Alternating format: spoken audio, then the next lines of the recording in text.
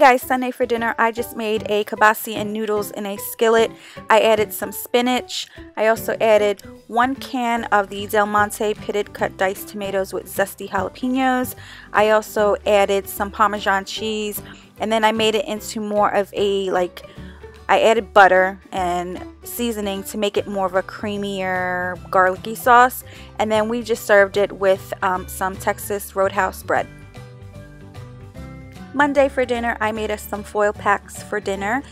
Uh, it is chicken breasts in a ranch sauce with Cracker Barrel cheese melted on top with broccoli and then we also have on the bottom of the chicken breast some stovetop stuffing which is my favorite and basically you just take all these ingredients and you put it in the foil and you wrap it up and you bake it in the oven. This was Pinterest inspired. And then we just served it, well I just made some um, cut up potatoes, seasoned really well and baked them in the oven as well. Tuesday for dinner I made cheesy party burgers. They're like sliders. I used ground beef. I also, um, there's a recipe on Pinterest for this but my brother's wife pretty much introduced me to this. They said it was delicious, and they are right. Um, you would use like one can of the Rotel diced tomatoes and green chilies. Let me tell you, this Rotel with green chilies and diced tomatoes, oh my god, if you use this in any type of meal, it just makes your meal so delicious. It's some good stuff. I also have here some cheddar cheese and then you put it on dinner rolls and then there's a glaze that you put on top and you just have like it's like a buttery brown sugar glaze to give it a sweetness. It tastes really really good. And then we just served it with some uh, french fries that were frozen and you just pop them in the oven and that's what we have for dinner on Tuesday.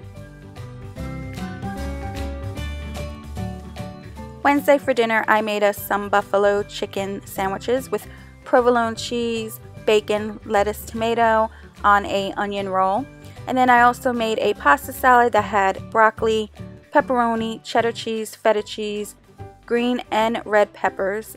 And I just used basic Italian dressing for all my pasta salads. So that is what we have for dinner on Wednesday. Thursday for dinner, I made meatloaf with ground beef.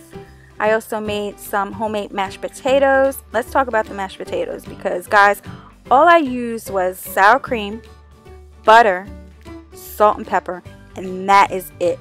They were so good, you guys. Oh my god. For now on, that's how I'm making my mashed potatoes. And the only reason why I made it that way was because I think I didn't have any milk. So I was like, well, I have sour cream, so I used that instead. Then we have some gravy on top, and then I just served it with some peas. They are canned, but they were really, really good. More of a comfort food for that night. Um, everything was really, really good. So that is what we had for dinner on Thursday. Friday for dinner, I made chicken parmesan. I just made my chicken just like the way I make chicken cutlets, breaded, um, fried, and then I don't put the sauce on right away.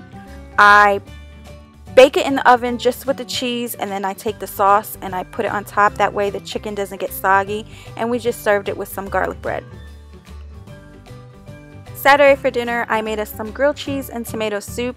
Nothing special, but I did switch up a few things. Like uh, when I melted the butter in the pan, I added salt, garlic, and pepper to give the grilled cheese more of a flavor. And I did use two different cheeses. I used provolone and cheddar cheese. And with the tomato soup, I tried out, I wanted to test out the Dollar Tree boxed milk. And I really couldn't tell the difference. It gave it just as much flavor. It tasted really good. It didn't taste bad.